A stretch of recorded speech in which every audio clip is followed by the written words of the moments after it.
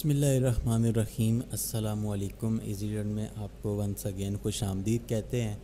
Hopefully आप लोगों को लास्ट टाइम जो मैंने डिस्कशन की थी, समझ आ गई होगी। और आज हम लोग फाइनली एक्सरसाइज 2.2 को स्टार्ट करने लगे हैं। और इस एक्सरसाइज का मकसद क्या है? और इस एक्सरसाइज को कितनी देर में कवर अप किया जाएगा, ये लास्ट टाइम मैंने ऑलरेडी बता दिया था। तो आज इस एक्सरसाइज को फाइनली स्टार्ट करेंगे और वक्त पर ख़त्म करने की कोशिश करेंगे। आज की exercise two two point two point two और ऑल क्वेश्चंस आज का हिस्सा होंगे कंप्लीट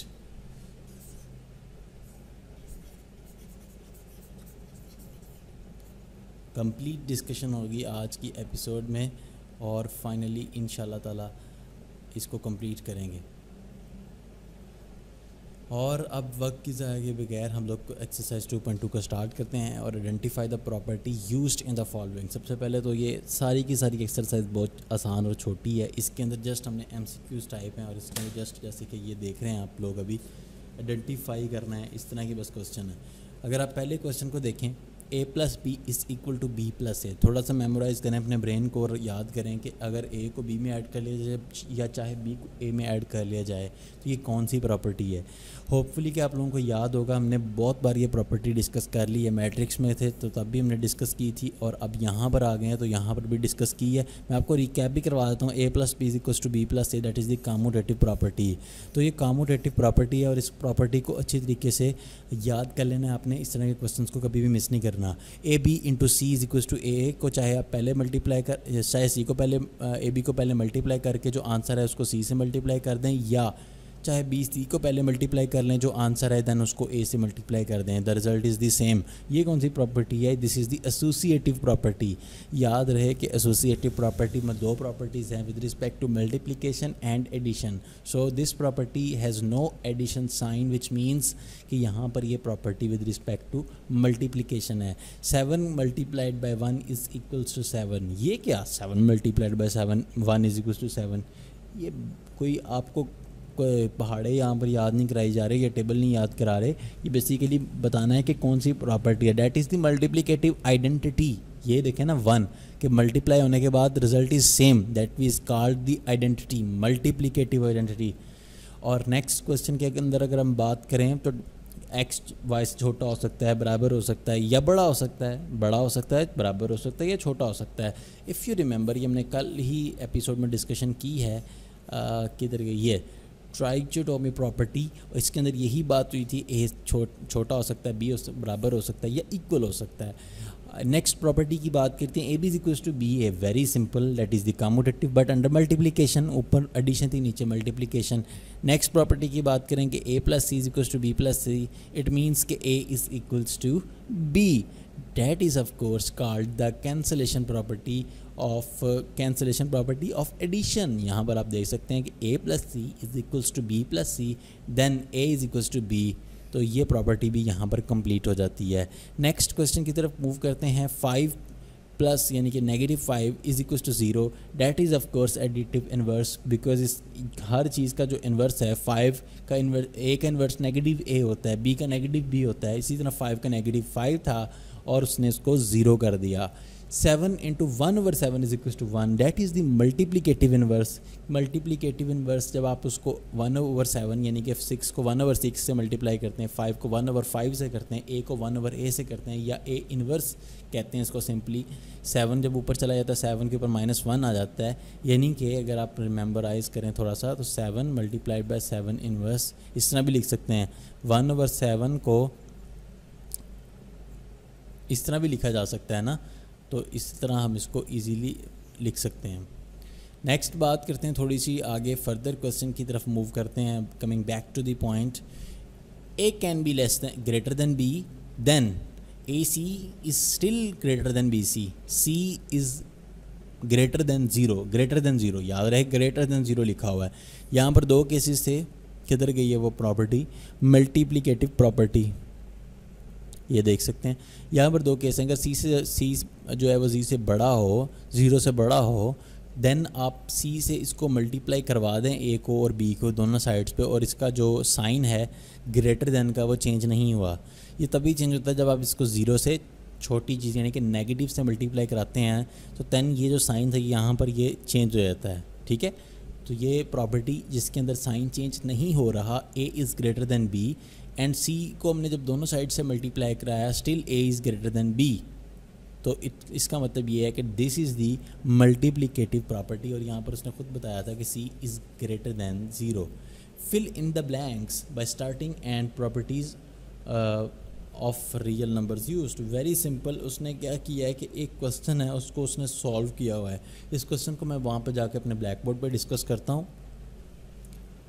राइट right नाउ हम लोग जो क्वेश्चन डिस्कस करने जा रहे हैं that is the question number two and the part there is still only one part question आपके पास ये है, इसको सॉल्व करेंगे और साथ ही साथ डिस्कस करेंगे कि इसमें हमने कौन सी प्रॉपर्टी को यूज़ किया है। Three X as it is plus three Y minus three X अंदर मल्टीप्लिकेशन हुई। और इस प्रॉपर्टी का नाम बताना है कि क्या नेम है। जब आपने कोई चीज़ अंदर मल्टीप्ली अप्लाई की, मैं आपको थोड़ा सा रिमेंबर करवा देता हूँ। A into B plus C is equals to A B plus A C and this is called distributive property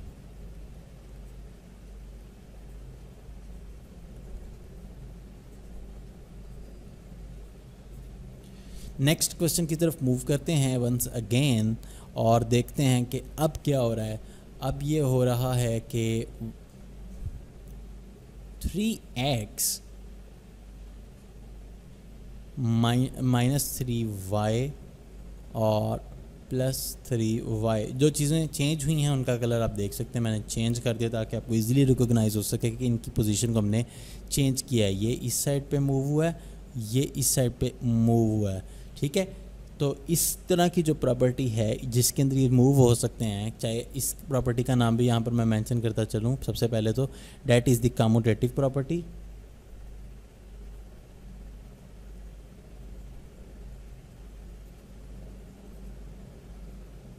इसके अंदर ये होता है कि चाहे आप ए को बी में ऐड कर लें is equals to B plus A तो हमने जस्ट कुछ भी नहीं किया, इसको इसमें कर लें, इसको इसमें कर लें, यानी कि आगे पीछे किया। नेक्स्ट प्रॉपर्टी की तरफ़ मूव करते हैं वंस अगेन और नेक्स्ट इसके बाद ये हो रहा है कि थ्री एक्स और, ओ ओ मिस्टेक कर दी मिस्टेक कर दी मिस्टेक कर दी। देख रहे हैं मिस्टेक क्या हुई? और इस मिस्टेक को ख़त्म करने के लिए यहाँ से मुझे इरेज़र सेलेक्ट करनी पड़ेगी आई थिंक ये कैसी इरेज़र है? इसने तो और गंद डाल दिया। ये कैसे की इरेज़र है? अच्छा ये वाइट बोर्ड की इरेज़र है। चलें, छोड़ें। इसको हम छोड़ के दोबारा से इधर री राइट कर लेते हैं। हुआ यह है कि मैंने मिस्टेकन ली। यहाँ पर ये जो x है, ये थ्री एक्स है। नेगेटिव थ्री एक्स समझ रहे हैं बात को? नेक्स्ट डिस्कशन को कंटिन्यू करते हैं कि अब ये थ्री एक्स है और ये माइनस थ्री एक्स है, ये दोनों आपस में कट जाएँगे। और यहाँ पर क्या आ रहा है? जो चीज़ चेंज हो रही है, इसको मैं किसी यूनिक कलर से रिप्रेजेंट करने की कोशिश करता हूँ। डेट इज़ नाउ ज़ीरो, ठीक है? प्लस थ्री वाई जो है वो एज इट इज़ आ गया। अब आपके पास ये कौन सी प्रॉपर्टी है? इस प्रॉपर्टी को ख़ास नाम दे सकते हैं।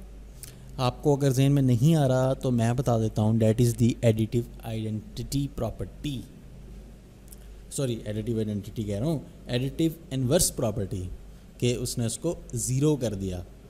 ये जो प्रॉपर्टी है, जिसको मतलब कि अगर आपको शायद याद आ रहा हो कि A minus A is equals to zero so there exist a unique number negative A तो वो जो नेगेटिव ए होता है डेट इज़ दी प्रॉपर्टी वो इस प्रॉपर्टी को हम क्या नाम दें फिर? एडिटिव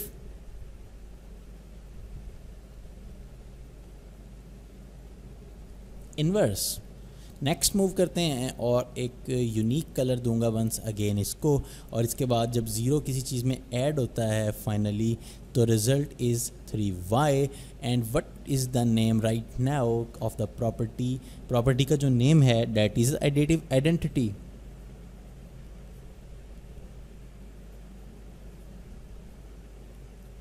Y because A में आप कुछ भी ऐड कर लें दैट इज़ अगर आपका आंसर ए रहता है ये आपकी प्रॉपर्टी थी, याद आपको? This is called the additive identity कि देर एग्जिस्ट यूनिक नंबर देखिए यूनिक नंबर ज़ीरो जब किसी चीज़ में ऐड होता है ए प्लस ज़ीरो कर लेंगे. ज़ीरो प्लस ए जैसे इस केस में ज़ीरो प्लस ए हमारा थ्री वाई है तो result is three Y so this is the list of the properties और इस तरह के क्वेश्चन आपको शॉर्ट क्वेश्चन में आ सकते हैं.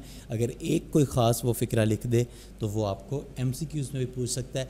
इस तरह की एक्सरसाइज को हम कहीं पर भी मिस नहीं कर सकते। फाइनली लास्ट क्वेश्चन की तरफ़ मूव करते हैं। Give the name of the property use in the following square twenty four plus zero is equal to twenty four very simple additive identity कि अभी आपने बात की लास्ट क्वेश्चन के इस पार्ट में कि अगर आप किसी चीज़ में ए में ज़ीरो ऐड करें that is A next question की तरफ़ मूव करते हैं। Minus two over three plus something is equal to minus two over three और इसको ऐड कर दिया गया है फाइव प्लस ये सारी जो इक्वेशन बनाई that is what is this इसको थोड़ा सा फोकस करें, इसमें ये हुआ है कि नेगेटिव टू ऑफ़ थ्री जो है, वो आपका, ये ए है, ये बी है और plus C B plus C तो ये आपका जो ए है, ये बी से मल्टीप्लाई होगा ए बी प्लस ए आपका सी से मल्टीप्लाई होगा मतलब माइनस टू ओवर थ्री पहले फाइव से हुआ, फिर माइनस टू ओवर थ्री फिर बी से हुआ. यानी कि ये आपका जो फाइव है, इसको आप बी लें, ये जो आपका सेवन ओवर टू है, इसको सी लें और जस्ट आपने ब्रैकेट को ओपन किया और इस ब्रैकेट को ओपन हमने यहाँ पर भी किया था। Three into Y minus X three Y से मल्टीप्लाई हुआ था और थ्री एक्स से मल्टीप्लाई हुआ था भी मैंने ब्लैक बोर्ड पर किया था अपने। Same is the case here और इस प्रॉपर्टी को हमने जो नाम वहाँ पर दिया था, वही नाम हम यहाँ पर दे देंगे डिस्ट्रीब्यूटिव प्रॉपर्टी फर्दर आप देख सकते हैं कि एक चीज़ के अंदर नेगेटिव और जब वही चीज़ ऐड होती है तो वो ज़ीरो हो जाता है additive inverse and square root two three multiply by square root three is a real number that is a closure property closure property हमें ये बताती है कि अगर आप आ, किसी चीज़ के अंदर क्या करें तो क्लोयर प्रॉपर्टी आपको मैं रिकैप करवा देता हूँ। ये आपके सामने क्लोजर प्रॉपर्टी दोनों साइड्स पे लिखी हुई हैं रियल नंबर्स की। इसके मुताबिक ये है कि अगर आप ए बी के अंदर ऐड करें तो वो बिलोंग्स टू रियल नंबर होता है। सेम इज़ द केस कि अगर आप ए बी को मल्टीप्लाई करें तो that is also belongs to real number while here you can see that कि अगर आपने इसके रूट थ्री को स्केयर रूट थ्री से मल्टीप्लाई किया it's a real number answer उसने वैसे ही आपको बता दिया कि it's a real number so वो क्या कह रहा है कि it is a it is a property closure property finally last question five की तरफ़ मूव करते हैं और उसमें देखते हैं कि नेगेटिव फाइव ओवर एट को जब आपने again negative five over eight eight over five से मल्टीप्लाई किया तो रिज़ल्ट इज़ वन इसको कहते हैं मल्टीप्लीकेटिव इनवर्स कि किसी दो चीज़ों को जब आप मल्टीप्लाई करवाएँ और वो इसको रिजल्ट्स वन में ले जाए that is the multiplicative inverse not identity याद रखिएगा। तो अब फाइनली इसको नेक्स्ट टाइम जब हम डिस्कशन की तरफ़ जाएँगे तो हम लोग रेडिकल्स और रेडिकेंट्स की तरफ़ को टच देंगे थोड़ा सा कि ये क्या चीज़ होती है। इन शाला दुआओं में याद रखिएगा। टेक केयर अल्लाह हाफिज़।